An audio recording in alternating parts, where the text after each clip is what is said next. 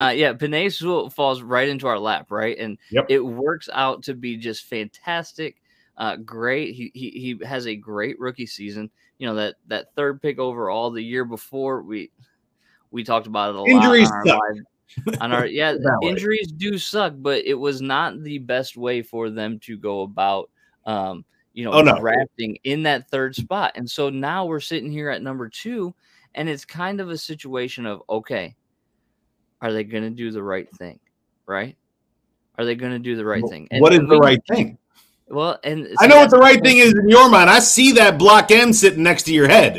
I know what the right thing is in your mind, AJ Riley. that that there's potential for that, right? But like this EJ Perry article that Don wrote, right? We all know that the Lions need a quarterback.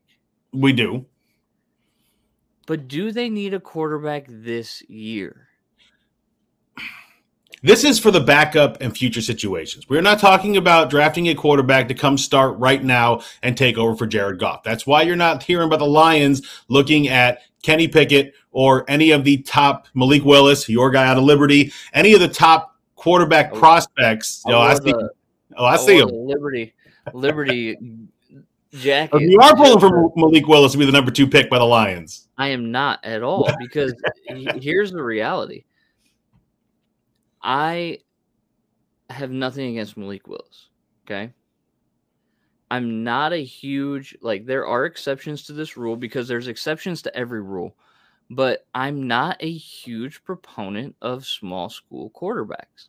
Mhm. And I know that makes me sound like an elitist in a lot of ways, but I'll wear that badge with honor because there are exceptions, right? Josh Allen, okay?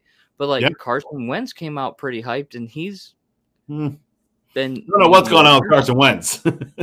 and and and so like I I get all the hype around Malik Willis. He looked good throwing the ball at the combine. I get that, but he did not look good when I saw him this year against was it Auburn? I think that they played. The, the one good this year I they think played. they played. I think it was Ole Miss because it was um their head coach's former team, right? Mhm. And and he looked awful, like so bad. I turned it off. I was like, this guy's not not like you're proving my theory of small school quarterbacks, right?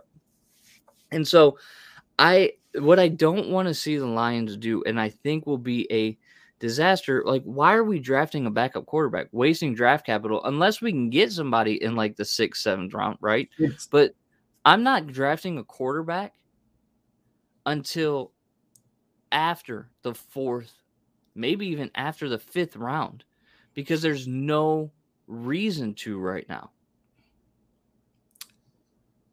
That's what this is, though. Is- It is. It is that fourth or fifth round guy that you never know becomes Tom Brady. Sixth round pick, 199th overall. Look what he turned into his for his career.